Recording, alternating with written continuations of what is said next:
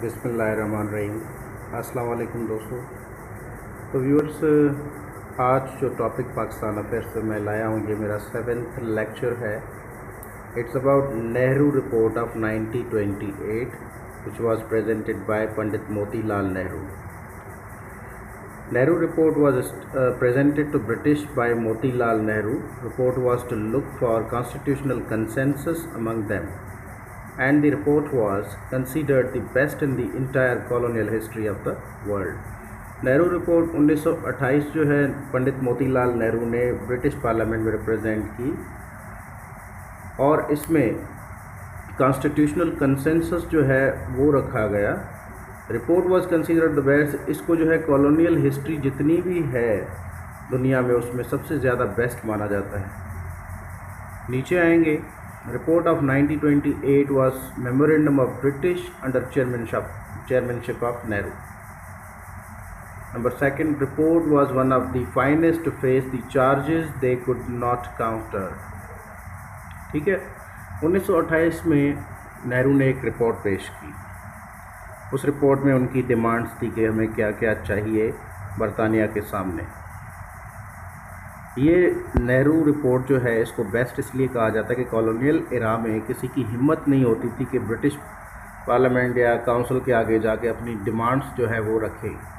लेकिन नेहरू ने किया, जो कि आई थिंक काबिल तारीफ़ भी था।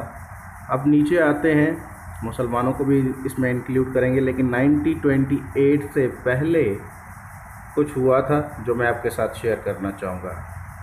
ये था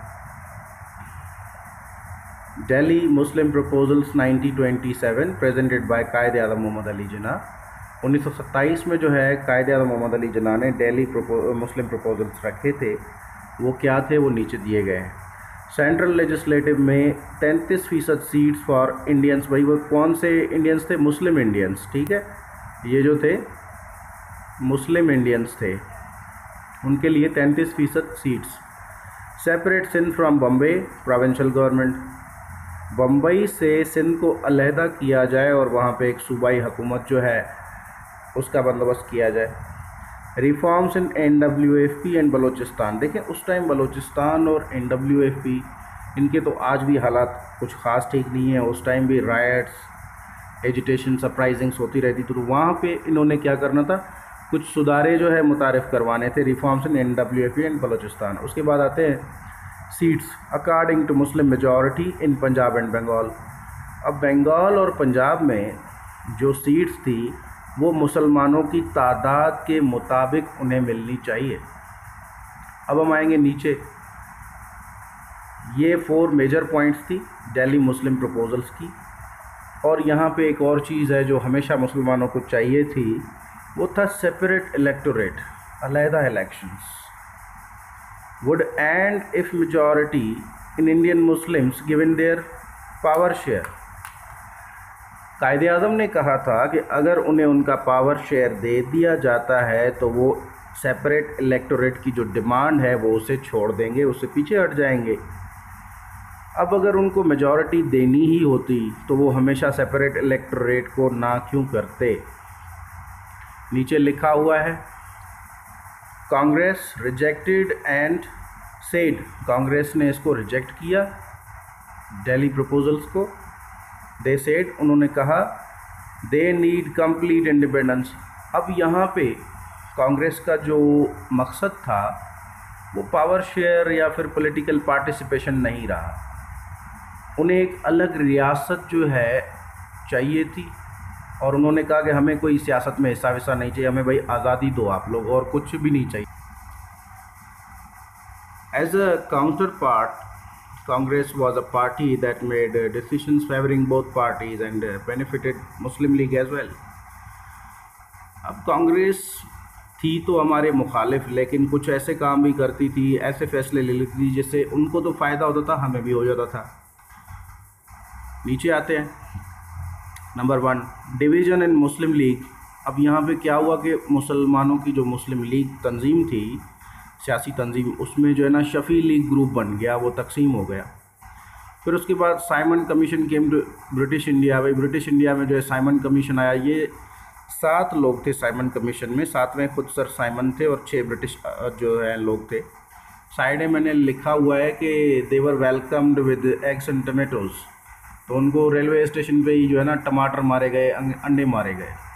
अब ऐसा इंडियंस का जो बर्ताव है, जब ब्रिटिशर्स ने देखा तो उन्होंने स्टेट सेक्रेटरी जो secretary of state and for Indian affairs थे, उनका जीना हराम कर दिया। ये था challenge for secretary of state and he was called for an explanation into the Indian parliament और काउंसिल ये सेक्रेटरी ऑफ़ स्टेट के लिए एक चैलेंज बन गया, सरदर्द बन गया और इनको जो है तलब किया गया कि पार्लियामेंट या काउंसिल में आए और जवाब दें इसका कि ये सब क्यों हुआ? कैसे हिम्मत हुई इंडियंस की जो है ना साइमन कमीशन पे जो है उनकी बेज़ती करने के लिए? क्या ग्राउंड्स हैं उसके? अब इसके बाद साइमन कमीशन तो सॉरी उसके बाद क्या हुआ कि जो सेक्रेटरी ऑफ़ स्टेट थे, उन्होंने अपना एक रिएक्शन दिया ब्रिटिश ने एक रिएक्शन दिया। ब्रिटिश रिएक्शन जैसे ही मिला, Nehru report emerged against colonial power by representation of political parties अब जो कॉलोनियल रूल था बरतानिया का, उसके खिलाफ नेहरू रिपोर्ट पेश दी कर पेश कर दी गई। नीचे आते हैं। ये मैंने सीरीज़ ऑफ़ इवेंट्स बनाया है। 1927 दिल्ली मुस्लिम प्रपोजल्स मोहम्मद अली जना ये आपने याद रखना है एमसीक्यूज़ में आपको काम आएगा। 1928 Mohammad Ali Jinnah was sent study in UK अब ये जब नेहरू रिपोर्ट रिप्रेजेंट कर रहे हैं तो ये कहाँ पर हैं? कायदे आदम मोहम्मद अली जना ये यूके गए हुए हैं स्टडी पर्पज़ के लिए। खुद यूके ही खुद जो है ब्रिटिशर्स ही भेजा करते थे। 1929 में ही introduce 14 points presented by Mohammad Ali Jinnah अब ये जब नहीं थे तो देखते हैं कि नेहरू रिपोर्ट क्या थी। नेहरू रिपोर्ट 1928 फ़र्स्ट क्या था कि Nehru report called for general elections general election चाहिए था सेपरेशन सेपरेशन नहीं चाहिए था सेपरेट इलेक्शंस नहीं चाहिए थे। With no separate electorates to ensure minority group could elect their own representative or representation उन्होंने इंश्योर किया कि हम आपको जनरल इलेक्शन में जो है ना, खुद आप अपने जो है रिप्रेजेंटेशन सेलेक्ट या इलेक्ट करें, लेकिन आपको सेपरेट इलेक्टोरेट नहीं देंगे। दूसरा था representation of Muslims in the central assembly was reduced from one third to one fourth पहले सौ में से तैंतीस फ़ीसद जो है, मुस्लिम सीट्स थी, उसको कम करके तैंतीस में से पच्चीस फ़ीसद तक ले आया गया। One third to one fourth ले आया गया। Another point rejected the federal form of government in favor to unitary form. Nehru report ने जो है फेडरल फेडरेशन या फेडरल फॉर्म ऑफ़ गवर्नमेंट को रिजेक्ट कर दिया कि वो नहीं चाहिए। और एक ही हुकूमत होगी, वो खुद बहुत ज़्यादा पावर में रहना चाहते थे। कांग्रेस की हमेशा एफर्ट यही थी कि यूनिटरी पार्टी सिस्टम हो। लास्ट है division of power between centre and provinces but the residuary powers will be vested in centre power की जो तकसीम होगी सेंटर यानी मरकज़ और सूबों में उसमें जो मरकज़ी सॉरी उसमें जो की पावर होगा जो ज़्यादा पावर होगी या वीटो पावर होगी या फिर डिसीज़न मेकिंग पावर होगी वो होगी मरकज़ के पास बड़ी नाइन से भी थी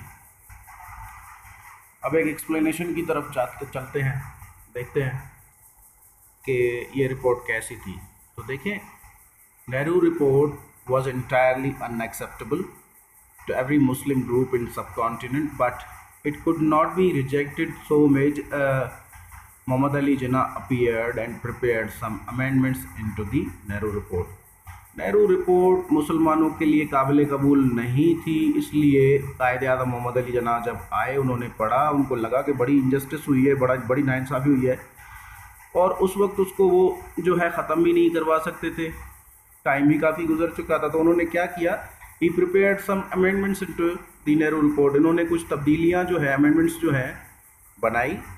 जिना प्रपोज्ड जिना ने कहा those amendments were clearly rejected वो अमेंडमेंट्स भी रिजेक्ट कर दी गई। Amendments could have bridged gaps between Hindus and Muslims but Congress rejected as Muslims rejected Nehru report 1928 अब जिस तरह से हमारी अमेंडमेंट्स तक को जो है वैल्यू नहीं किया गया इंडियन मुस्लिम्स की अमेंडमेंट्स को वैल्यू नहीं किया गया और उन्हें रिजेक्ट कर दिया गया, जो कि हिंदू और मुसलमानों के बीच में एक फासले कम कर सकती थी। उनके बीच में जो इख्तलाफात थे, उन्हें कम कर सकती थी। तो क्या हुआ? मुसलमानों ने भी नेहरू रिपोर्ट 1928 को रिजेक्ट कर दिया। और उसके बाद कायद अजम मोहम्मद अली जना ने कहा this is the parting of ways आज से हमारे जो रास्ते हैं ना भाई, अलग हैं। तो इसके बाद हम लोगों का जो अगला टॉपिक है वो fourteen points of Quaid Azam होगा। तो जिसने भी वीडियो देखनी है प्लीज़ कंप्लीट देखा करें। प्रीवियस वीडियो देखेंगे तो ही मेरी जो है ना आपकी प्रेजेंट वीडियो आपको समझ आएगी। ये आपको तब तक समझ में नहीं आएगा जब तक आप पिछली वीडियो नहीं देखेंगे। वीडियो लिंक जो है मैंने डिस्क्रिप्शन में प्रीवियस के हर वीडियो में दिए हुए हैं। अब आते हैं एम सी क्यूज़ पर Delhi Muslim proposals 1927 Nehru report Motilal Nehru ने पेश की 1928 में। 14 पॉइंट्स ऑफ़ कायद आज़म मोहम्मद अली जिना 1929 में पेश हुई। अब आ जाते हैं last of the topic I wish to share my analysis with you all Nehru report 1928 presented by Motilal Nehru was a courageous work बड़ी हिम्मत का काम था कि उन्होंने 1928 में अपनी एक रिपोर्ट पेश की। However, it kept Indian Muslims out of power and no stress was given in support of Muslim. मुसलमानों की मदद के लिए कुछ भी नहीं किया गया उन्हें पावर से बाहर रखने की अच्छी कोशिश की गई इस रिपोर्ट के ज़रिए। It was inconsistent for Indian Muslims and other minority groups ये उनके अदर मिनॉरिटी दूसरी जो अकलीतें थी या फिर जो इंडियन मुस्लिम थे उनके लिहाज ये बड़ा इनकन्सिस्टेंट था मुनासिब नहीं था। Due to some reasons and concerns Muslim League could not rejected it कुछ रीजंस की वजह से मुसलमानों ने सबसे पहले उसको रिजेक्ट ना कर पाए। वो so Quaid Azam propose some amendments to protect Muslim interest but the Congress rejected those amendments Quaid Azam ने देखा कि उसको रिजेक्ट नहीं किया जा सकता सबसे पहले तो वो अपनी अमेंडमेंट्स लेके गए। लेकिन जब उन, उन उनकी अमेंडमेंट्स नहीं मानी गई उनको रिजेक्ट किया गया अब इनके पास भी जवाब था कि वो नेहरू रिपोर्ट को रिजेक्ट करते और उन्होंने किया। Such rejection from Congress let Jinnah to represent is famous voting points ऐसा रिजेक्शन हुआ जिना का कि उन्होंने जो है अपनी मशहूर चौदह नकात जो है वो रिप्रेजेंट कर दी। How this was another shock for Congress ये कांग्रेस के लिए बड़ा शॉक था। Last paragraph of my analysis on Nehru report Nehru report was the containment of Muslim power in India sorry ये कर्टेलमेंट है Nehru report was the curtailment of Muslim power in India Nehru report जो थी मुसलमानों की India में ताकत को जो है ना कम करने के लिए बनाई गई थी। Report suggested to reduce Muslim political share from one third to one fourth. अब रिपोर्ट में ये सजेस्ट किया गया था कि मुसलमानों के जो सियासी शेयर है पॉलिटिकल पावर है वन थर्ड से वन फोर्थ तक लाया जाए, तैंतीस फ़ीसद से पच्चीस फ़ीसद किया जाए। In addition to this in addition to that Congress intended to run unitary system unchallengeable Congress को एक ऐसी हुकूमत बनानी थी जिसमें वही अकेले जो है रूल करते और उस हुकूमत को कोई चैलेंज ना कर पाता। Such events were responsible to realise Muslims ऐसे जो हालात पैदा हुए, मुसलमानों ने महसूस किया टू गेन इंडिपेंडेंस की आज़ादी हासिल की जाए। एंड सेपरेट मदरलैंड अलग एक जो है ना, उनकी एक मुस्लिम रियासत होनी चाहिए। रिजल्टेंटली नतीजतन आफ्टर 14 पॉइंट्स चौदह नुकात के बाद demand of separate homeland emerge among Indian Muslims Indian मुसलमानों के बीच में एक नई जो है ना डिमांड डिमांड जो है वो ज़ाहिर हुई। उन्होंने ज़ाहिर की, वो कौन सी थी? ऑफ़ सेपरेट होमलैंड अपनी एक अलग रियासत की डिमांड। तो दोस्तों, इसके साथ ये मेरा टॉपिक ख़त्म होता है। आई होप कि ये आपके लिए हेल्पफुल रहा होगा। मैं दुआ करता हूँ कि आप जिस भी इम्तान में अपियर हों, कामयाबी से जो है ना, अच्छे नतज आपके वहाँ से जो है आपको मिलें। उसके अलावा काइंडली मेरे वीडियो को सब्सक्राइब कर दें। लाइक भी कर दें अगर वीडियो अच्छी लगी है तो अपने जो कमेंट हैं, वो कमेंट बॉक्स में छोड़ दें। टिल दी अदर वीडियो अल्लाह हाफिज़ एंड गुड लक